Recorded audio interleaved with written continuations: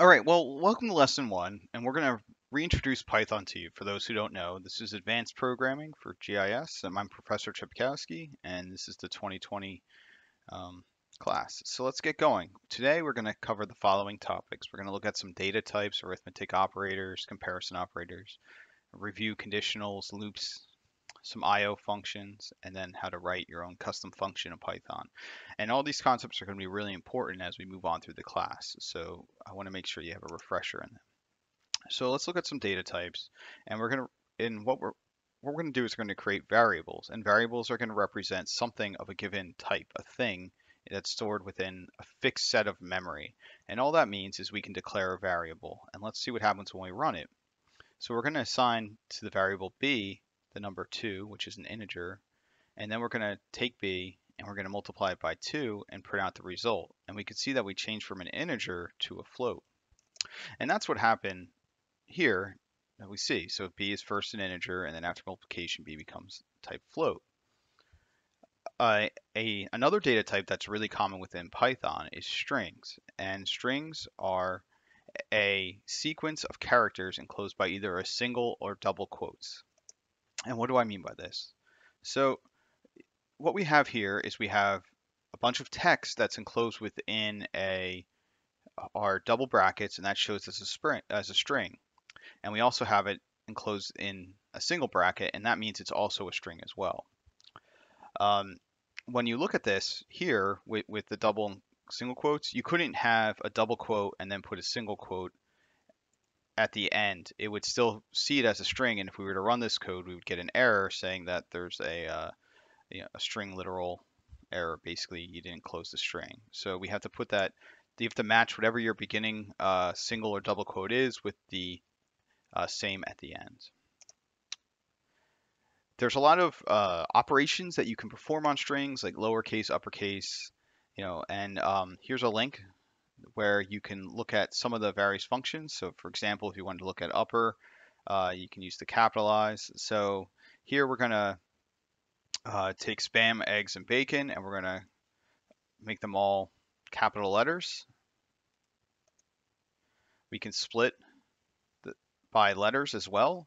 So if we wanted to take this string and split it into an array, and this is our basically our splitting point, which is m, we'd get our strings split, we could change this variable and we could change it to a comma, which would probably make more sense, and then we get spam, eggs, and bacon. Strings are immutable, so we let's say we have our variable s again, which is spam, eggs, and bacon. We can change variable, and you can see that we can't, by index of our string, we can't change the first letter in our string to C. Another important data type is a tuple, and what a tuple is, is it's a sequence of arbitrary objects separated by commas, and they're enclosed in parentheses. You'll notice when we did the split of the string that what was returned was a series of strings enclosed by square brackets, and that implies that it's a list. And lists can be changed, so they're mutable. But like our strings, this is immutable, which means once it's created, that's what it is. So let's go ahead and create a tuple. So we're going to create two here. Our first one is just going to be a single item tuple. So we have our open parentheses, the value that we want, comma, close parentheses. And then we also have T2, which is, and notice that we have various types. So we're putting two strings, a negative number, a negative integer, a float, and then we're also putting a tuple in. So it doesn't matter what you put in your tuple, it can be a collection of things, objects. If we go to try to change it, we see that we can't, it doesn't support item assignment because, because it's immutable. Also recall, you'll notice that both with the string example and with the tuple example, Python uses zero-based indexing, so the first item in a list is zero, not one. And if we were to, if we recall from our tuple example from previous, that if we put in t2 of one, we would get back the second item, which would be cat. And we can see this here.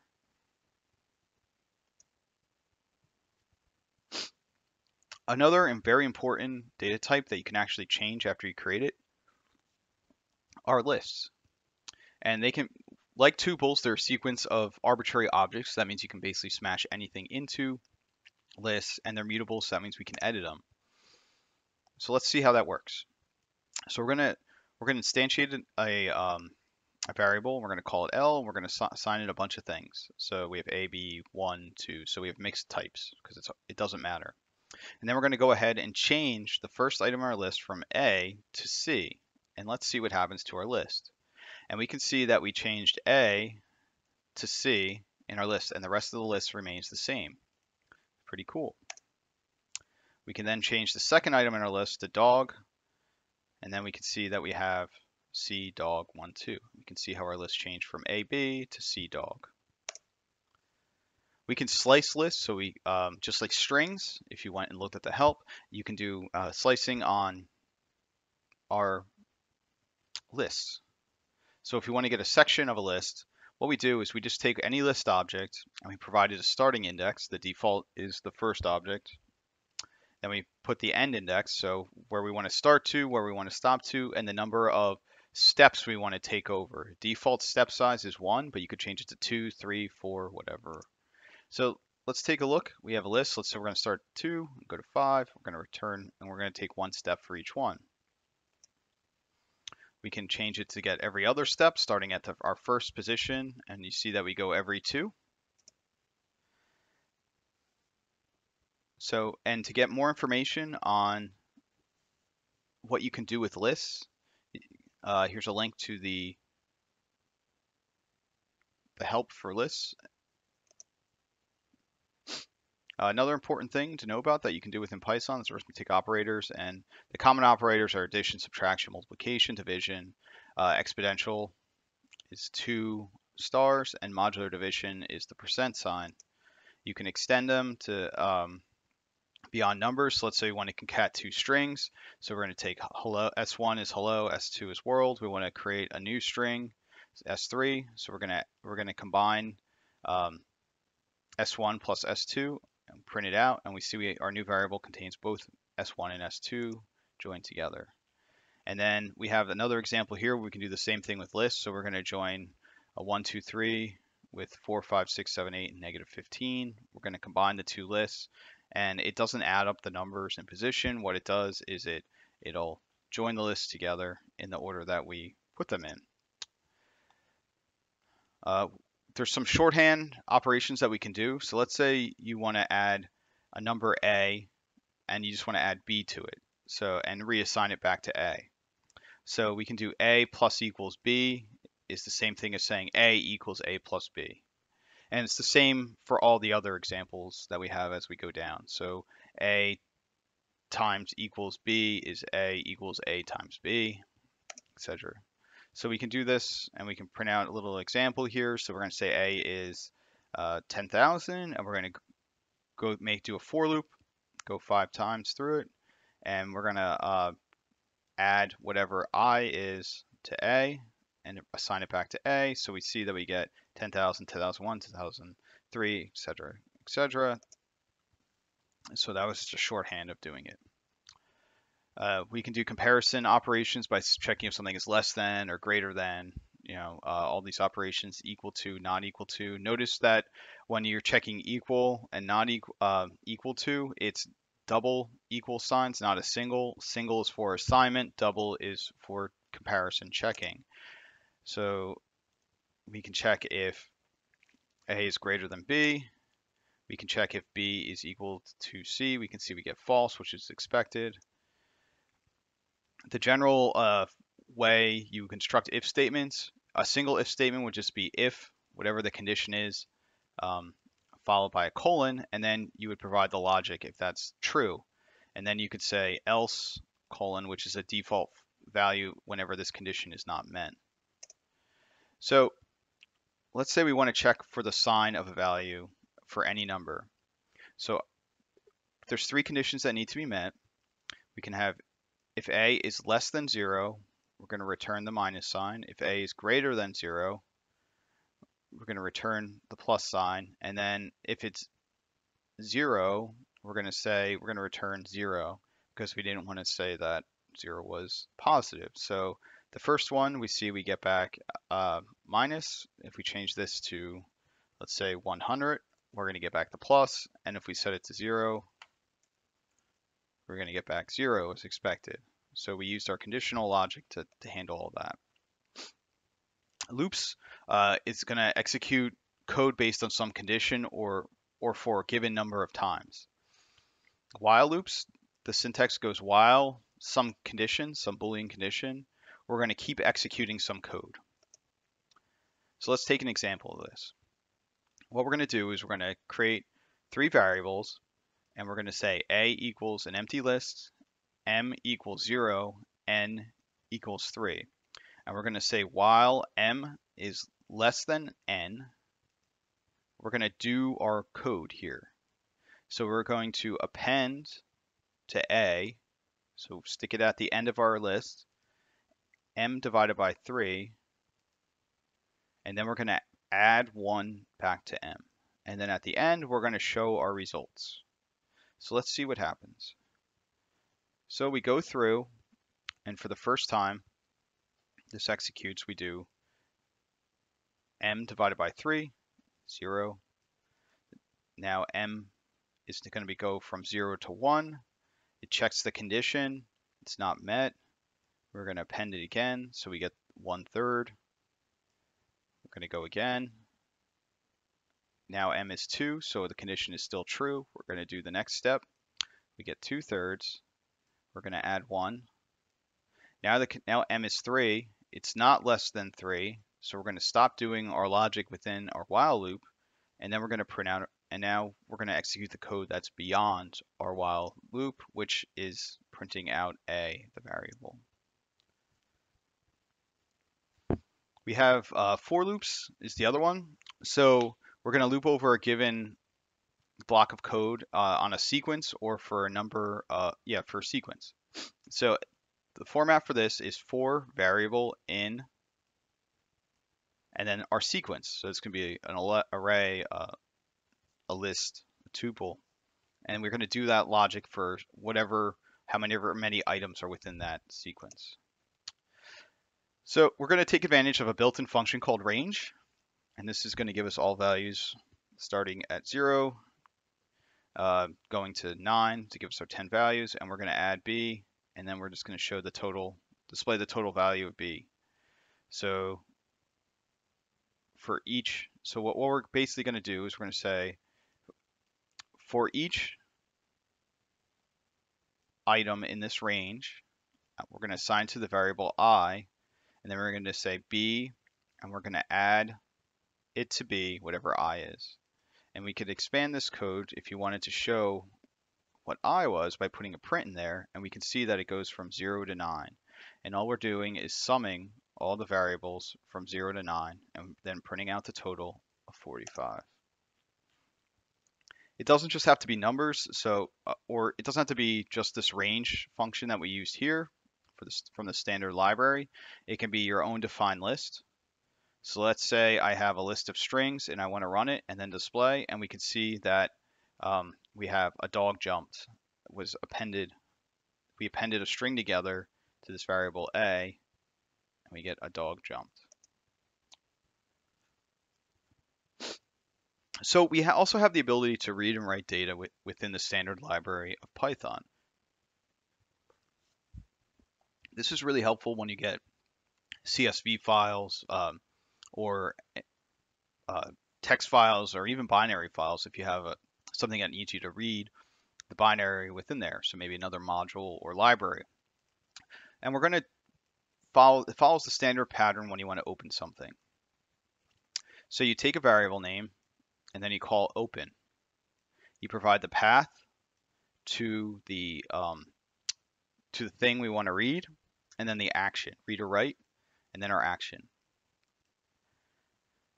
We have read and write here, uh, R and W. So R is the what you would put in for the action as a string, and that's the description here. And then we can even append to the end of a file. So let's say we have an existing string file, then we don't want to write it because when you write it, it's going to create a new file. So it'll overwrite whatever we have. Um, so we want to, if you want to add to the end, you want to do append, not write, if you want to persist that data. And we'll see that in a second. So uh, the three methods for reading a file, first we'll take out the simple thing, is we can read, which will, and then, so we take our file object, which we may created before from open, and we do dot read, and we provide the number of characters that we want to read in n. Or we can read lines where n equals the number read line, or and then say the number of line things we want to read, the um, characters, and then we can say read lines, which reads all lines in the file. And to extract all lines one by one, let's say, let's say we want to do that, we can use the, uh, here's some little, a shorthand to make sure that we always close our file object after we're done. We're going to use what's called with. So with, open, we're going to provide a path, and we, since we want to read, we're going to provide the string r as, and then our variable name.